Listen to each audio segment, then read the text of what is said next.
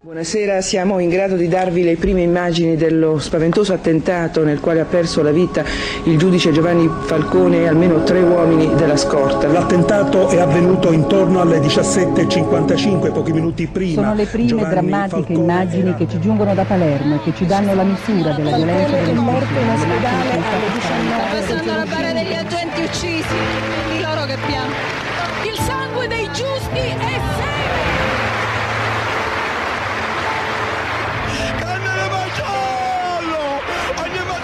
Sappiate che anche per voi c'è possibilità di perdono. Io vi perdono, però mi dovete mettere in ginocchio. Se avete il coraggio di cambiare, loro non cambiano.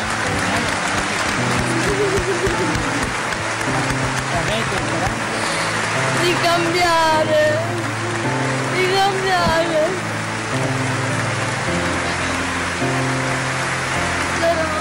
Cambiare, loro, loro non cambiano. loro non cambiano. Sono Maria Elena e vivo a Corleone e sono una volontaria del CIDMA, il Centro Internazionale di Documentazione sulle Mafie e sul Movimento Antimafia. E questo centro apre il 12 dicembre del 2000 e il Tribunale di Palermo ci dona i faldoni del maxi processo, una parte di questi faldoni, gli altri sono segretati al Tribunale di Palermo e all'interno di questo centro c'è anche una mostra permanente eh, di- della fotografa, della fotoreporter Letizia Battaglia. E è una fotoreporter che lavora per eh, un quotidiano L'Ora negli anni Ottanta e documenta tutto ciò che la mafia fa. Tutti i crimini che commette, lei li documenta affinché la gente veda la realtà. L'uomo che viene ucciso in questa foto non ha nulla a che vedere con la mafia, è un uomo comune che viene ucciso per il semplice fatto di aver visto qualcosa che non doveva vedere o avrà detto qualcosa che non doveva dire. Quindi molto semplicemente si sarà trovato nel posto sbagliato al momento sbagliato e ce ne accorgiamo da come viene ucciso. Viene ucciso nella parte alta di questo, di questo garage, stava andando a riprendere la sua auto in un garage di Palermo, viene ucciso in alto e viene trascinato in basso, viene girato e gli vengono messe le mani in tasca e la faccia gli viene rivolta verso terra.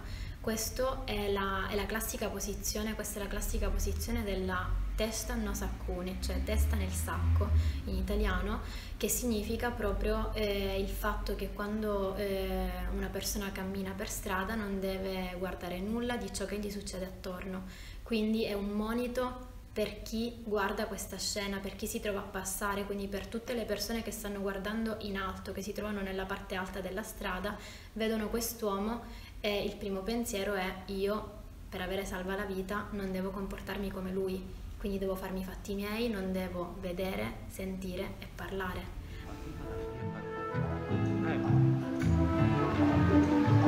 Tu lo sai cosa hai fatto?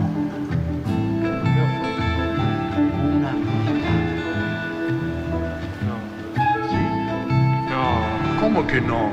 ma veramente? Sì. Vabbè, però non vale, perché non la volevo fare. Volere non è importante, perché le immagini, le immagini nascono casuali. Cioè, voi che volete dire allora? Che, per esempio, non so se mi spiego, che il mondo intero, no? Il mondo intero proprio, dico, col mare, col cielo, con la pioggia, con le nuvole, Ah, ora tu puoi già dire eccetera, eccetera. eccetera, eccetera. Cioè il mondo intero allora è la metafora di qualcosa. Ho detto una stronzata. No, no, no, no, no, per me. Avete fatto una faccia strana. Mario, facciamo un punto. Adesso faccio un bel bagno e rifletterò sulla tua domanda. Poi domani ti darò una risposta. Ma veramente? Sì, veramente.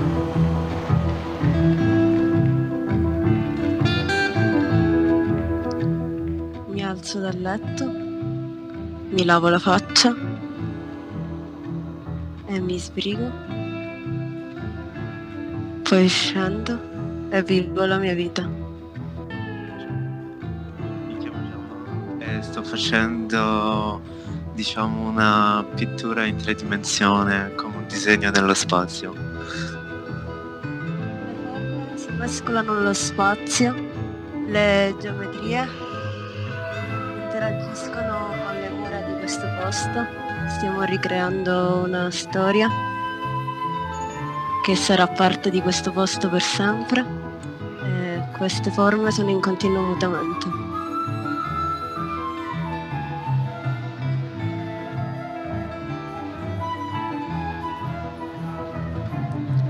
Loro sono ragazzi di Palermo, eh, stanno ancora studiando all'Accademia eh, e insomma sono all'inizio di, di, di una possibile carriera artistica.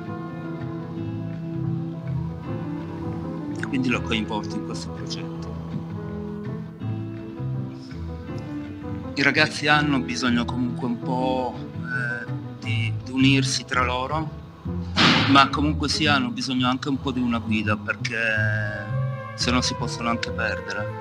Questo sarebbe una, qualcosa che perdono tutti, non soltanto loro. E quindi il mio tentativo è proprio quello di comunque di, di creare un corpo tra loro, un corpo unico, per avere più forza, per avere più voce perché sennò singolarmente secondo me oggi non, non si ha abbastanza voce.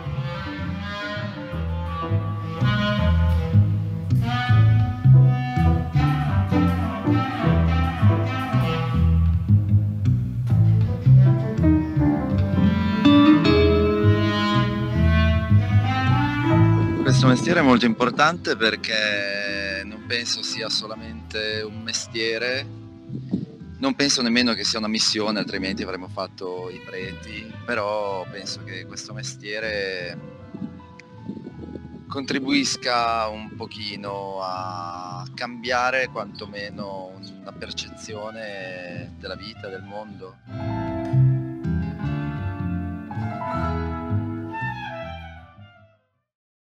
Se noi guardiamo le statistiche eh, vediamo che la presenza delle donne all'interno del crimine ehm, arriva intorno al 20%, cioè eh, fatto 100 il numero dei reati che vengono commessi, l'80% viene commesso dagli uomini, il 20% dalle donne, naturalmente con delle tipologie e delle oscillazioni molto forti, perché se guardiamo gli omicidi le donne sono presenti solo per il 4%, se guardiamo l'emissione di assegni a voto le donne arrivano a più del 50%, anche al 60%. Se ci andiamo poi a chiedere perché le donne siano meno devianti degli uomini, eh, potremmo ribaltare la domanda eh, chiedendoci eh, ma perché eh, vogliamo, cioè perché non ci chiediamo perché gli uomini siano così devianti e invece appunto vogliamo sapere perché le donne lo siano così poco? Perché l'anomalia è che le donne siano eh, poco devianti e non che lo siano effettivamente tanto gli uomini.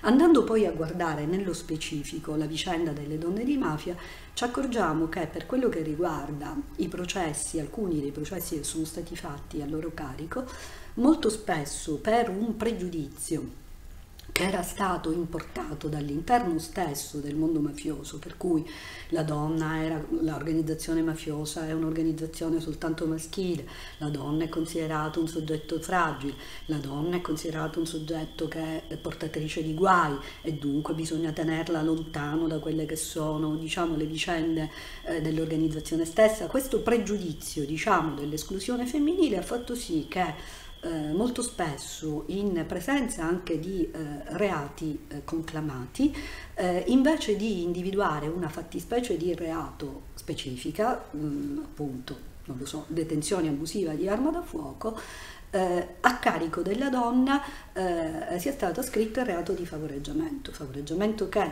per l'articolo 384 del codice penale, qualora sia commesso da un familiare, non costituisce reato. Dunque in questo caso le donne escono dalle statistiche giudiziarie perché dipende da come il magistrato ha interpretato il loro ruolo e dunque ha mh, mm, scritto il capo di imputazione.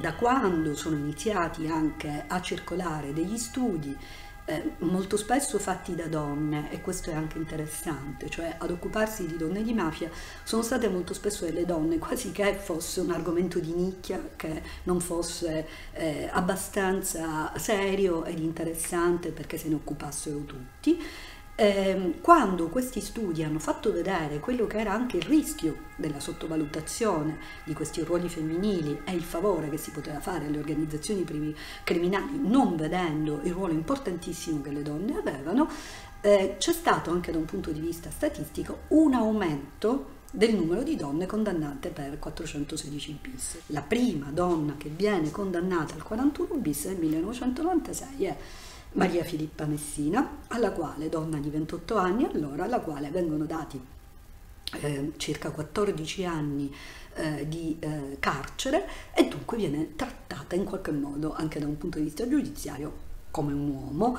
eh, nel senso che eh, le viene riconosciuta una specifica eh, responsabilità.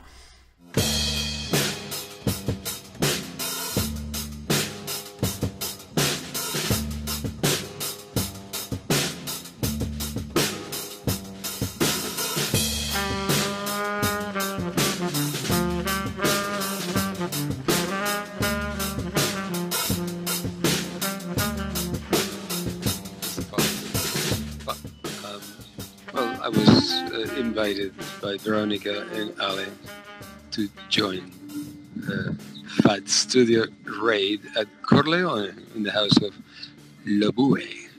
Rest in peace, his son next door, and the Carabinieri watching us. So we decided to participate in this uh, very meaningful project from New York City. So I brought uh, one of my favorite artists that performs um, a system of uh, anti-violence uh, performances being from China and gone during the communist regime that he compares pretty much to the mafia and other organizations such as them. For him, the Communist Party does the same thing as the Corleone mafia used to do, which is expropriate uh, people for their own land um, against their will and then forcing them to move into apartments in the city, and then they run out of money, and that's it. Uh, so he, he said they call the mafia, the Chinese call the mafia black hands, but why not red hands? And I said, well, that's what you're gonna be doing today in your performance. You're gonna be red-handed. You're gonna be caught red-handed in the garage of Le Bouet.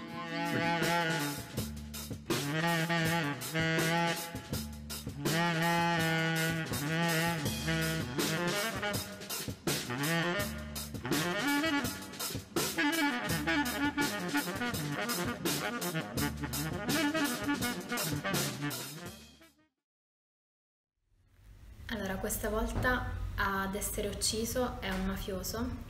Lo uccidono con un colpo di pistola alla bocca, gli introducono una pietra per simboleggiare il fatto che ha parlato troppo. Quindi eh, ci sono diversi simboli che andiamo a decodificare all'interno di questa foto. Eh, la prima è appunto la, mh, mm, la modalità con la, quale quest'uomo viene ucciso e la seconda è invece eh, la modalità con la quale la famiglia tratta il, il, corpo di questa persona che è comunque un loro caro. Quindi dopo eh, averlo ucciso la mafia lo restituisce alla famiglia la quale è impossibilitata a eh, trattarlo nel modo in cui vorrebbe, quindi a fare dei, dei funerali, a, a mettere dei fiori, a tenere il corpo in casa Infatti in questa foto ci accorgiamo dal fatto che eh, dietro il corpo c'è una porta ed è la porta d'ingresso della casa, quindi viene lasciato appositamente fuori, è una cosa che in genere non viene mai fatta, proprio per simboleggiare questa rottura eh, con, il, con il passato, quindi con il mafioso che ha tradito l'organizzazione mafia parlando, quindi ha rotto il muro del silenzio e la famiglia vuole lanciare un messaggio e il messaggio è quello noi non abbiamo nulla a che fare con lui che parlando ha tradito la mafia. Mi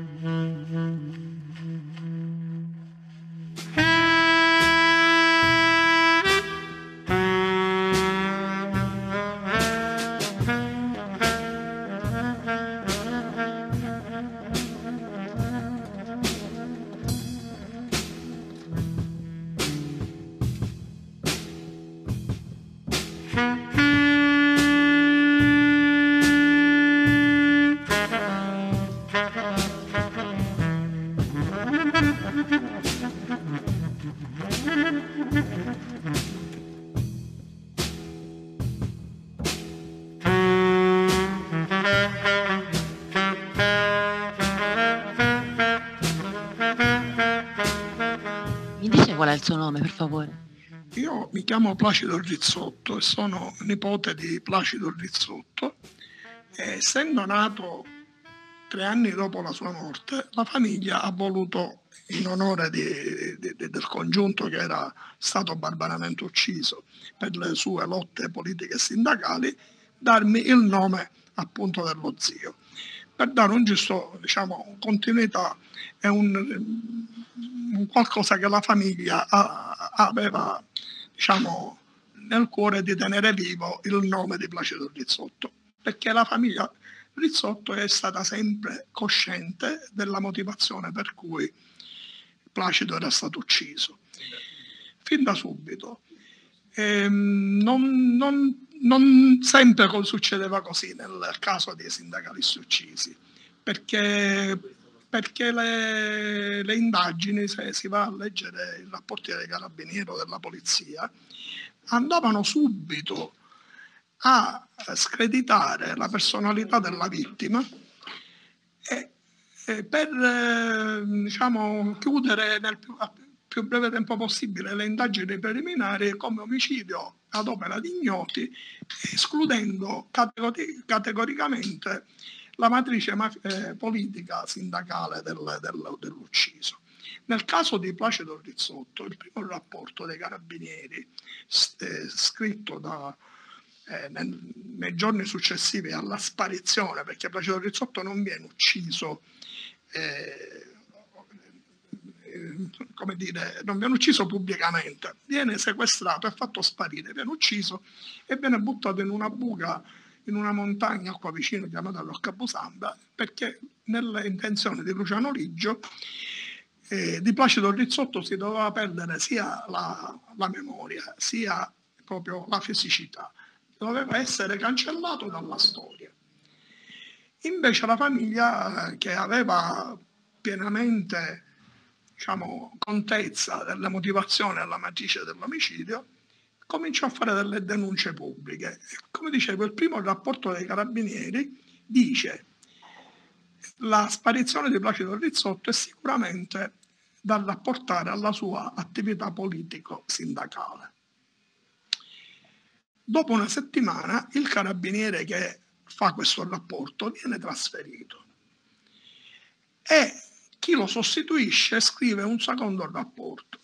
Il secondo rapporto dice testualmente la sparizione di Placido Rizzotto è sicuramente una vendetta trasversale nei confronti del padre, il quale è stato legato ad ambienti mafiosi, ma il padre cerca di fare passare la sparizione con motivazioni politiche per avere le sovvenzioni del partito. Quindi con diciamo, le forze dell'ordine che operavano in questa maniera, non era facile dimostrare le motivazioni per cui questi sindacalisti venivano uccisi. Tant'è che molti, eh, come Antonella ha testimoniato, per molti anni sono stati eh, convinti di essere familiari di un morto ammazzato, ma un morto ammazzato perché non si faceva i fatti suoi, perché se l'era cercata, perché non era, eh, era un attaccabrighe, oppure molto spesso veniva usato la formula questione di donne. E questo è un classico, ci hanno tentato anche con Placido, ma la famiglia ha sempre reagito in maniera determinata. Tant'è che Luciano Liggio, che è stato l'esecutore eh, materiale del delitto, dopo tre giorni, contrariamente a quello che era successo per tutti gli altri, dopo tre giorni incontra una pattuglia di carabinieri e scappa e si dà alla latitanza. Da quel, tre giorni dopo l'omicidio di Placido Rizzotto, Luciano Liggio inizia una latitanza che durerà 16 anni, perché sarà arrestato poi nel maggio del 1964. Invece in tutti gli altri casi di omicidi di sindacalisti, gli assassini camminavano, continuavano a camminare impunemente per le strade del paese ed era sicuramente una tragedia per i familiari vedersi magari passare sotto casa con fare beffardo e con diciamo tracotanza questi mafiosi che erano stati gli autori magari del, della morte del loro figlio.